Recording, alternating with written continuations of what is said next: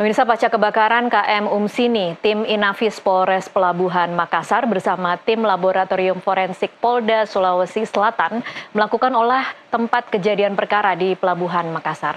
Dari hasil olah TKP, polisi mengumpulkan sejumlah sampel alat bukti yang diduga sebagai penyebab kebakaran. Tim Inafis Polres Pelabuhan Makassar bersama tim Laboratorium Forensik Polda Sulsel menyelidiki penyebab kebakaran KM Sini milik PT Pelni yang terbakar di Pelabuhan Soekarno-Hatta, Makassar, Sulawesi Selatan. Proses olah TKP KM Umsini berlangsung selama 7 jam, mulai pukul 9 pagi hingga pukul 4 sore waktu Indonesia Tengah. Selama olah TKP, terdapat 18 adegan yang dilakukan hampir keseluruhan pada bagian ruang mesin kapal. Dari hasil olah TKP, tim Lafor Polda Sulsel dan Inafis Polres Pelabuhan Makassar mengumpulkan sejumlah sampel yang diduga sebagai pemicu terjadinya kebakaran. Polisi juga akan memeriksa sejumlah saksi di antaranya kapten dan anak buah kapal. Jadi yang diperiksa sama tim dari Lapor sama Inafis itu uh, kita langsung ke titik awal mula uh, adanya uh, percikan api. Di mana itu bagian mana? Di dek satu. Itu apa Pak Desa? Itu di ruang mesin uh, kapal. Kalau kondisinya seperti apa di sana Pak setelah kan Bapak juga di langsung di dalam?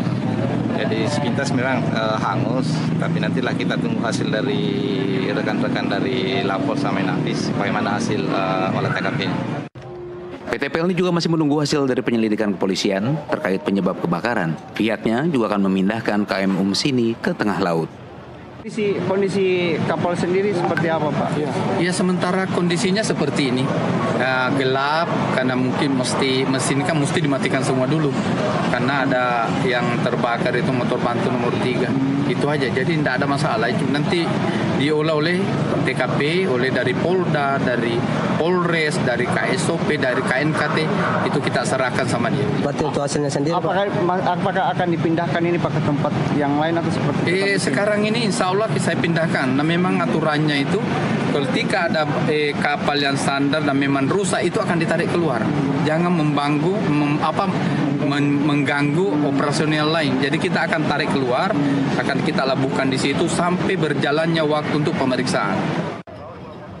Setelah dipindahkan dari dermaga ke tengah laut, selanjutnya KM Umsini akan diperiksa oleh Komisi Nasional Keselamatan Transportasi KNKT untuk mengetahui penyebab terjadinya kebakaran kapal milik PT Pelni itu. Dari Makassar, Sulawesi Selatan, Heruin Bahar, jurnalis NTV melaporkan.